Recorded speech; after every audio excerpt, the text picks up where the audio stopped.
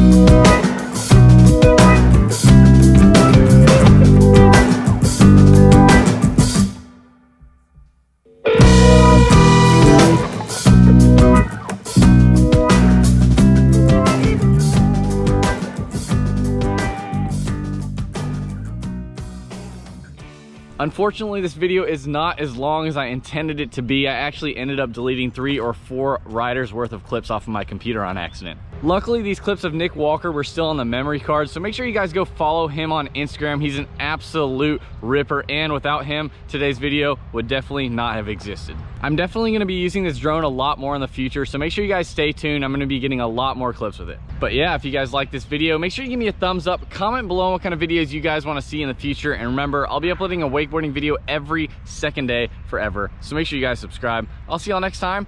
Peace!